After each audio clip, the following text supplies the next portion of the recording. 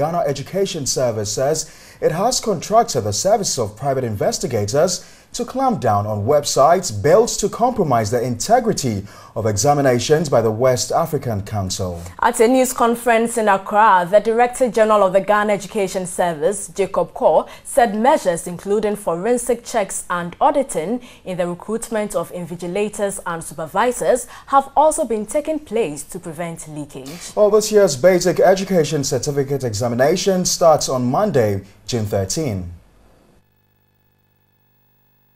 461,013 pupils will sit this year's examination from 14,267 schools.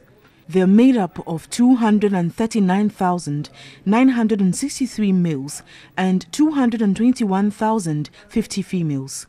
57 visually impaired candidates will also write the exams.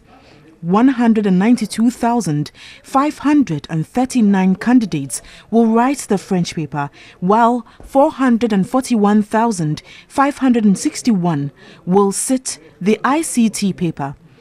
1,598 centers will host pupils starting from June 13 to 17.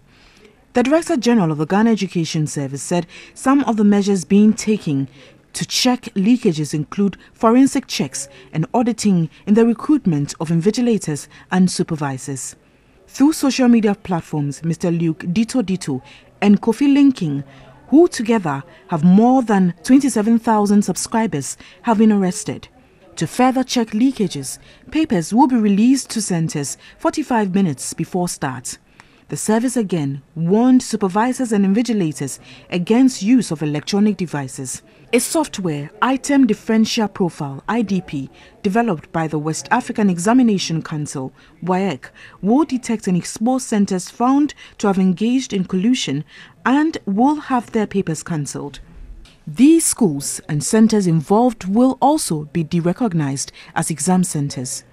We want our children to be truthful sincere and just in writing the examinations. The GES is partnering telcos to flash out people who take snapshots of papers with cell phones and put it on social media.